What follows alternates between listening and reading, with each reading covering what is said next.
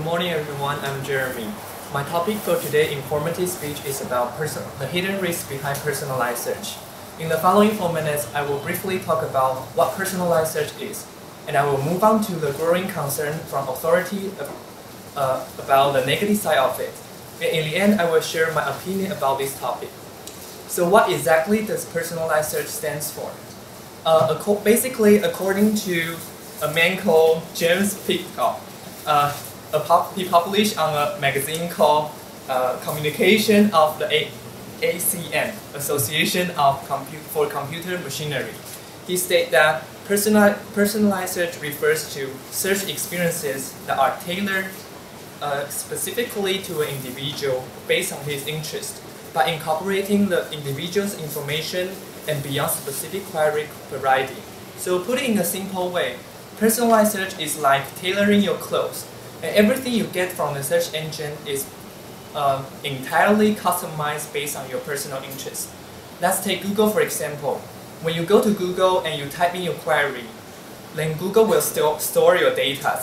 And as you return to the search engine, it will gradually uh, build up a search, build up your search habits. And with this information, Google can better understand your search habits and serve up more relevant data for you. At first, this might seem to be a wonderful thing, which saves us from the troubles that we don't have to spend too much time to find the information that we need.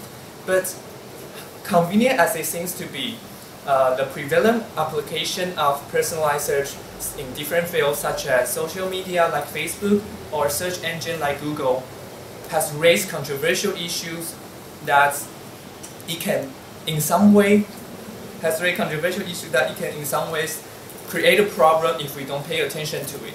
So what might be the problem when I refer to the personalized search hidden risks? Uh, according to Eli Pariser in his TED Talk on Beware of Online Filter Bubbles, he states that uh, if I search for something and you search for something, even right now at the very same time, we may not get very different results at the, uh, at the same time.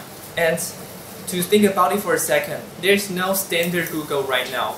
And personalized search moves us very quickly toward a world that the internet is showing us what it thinks we want to see, but not necessarily what we need to see. And that is something we need to pay attention to it. And as Eric Schmidt, the CEO of Google said, uh, it will be very hard for people nowadays to consume or watch something that has not been tailored for them. So in my opinion, I do think this is a problem.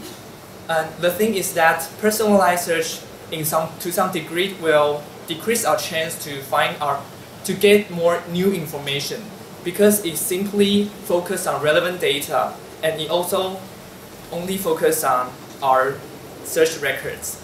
And it also might violate some privacy problem because uh, the users may not be aware of that their search data are collected and the search results are presented personalized for them. So we may have to sacrifice our objectivity as well as our privacy just in exchange of some user performance enhancement. So in conclusion, I think that personalized search may in some way improve our online performance, but it may also narrow down our perspectives and introducing us only relevant data instead of some new and challenging perspectives that we are seldom be exposed to. Thank you for your attention.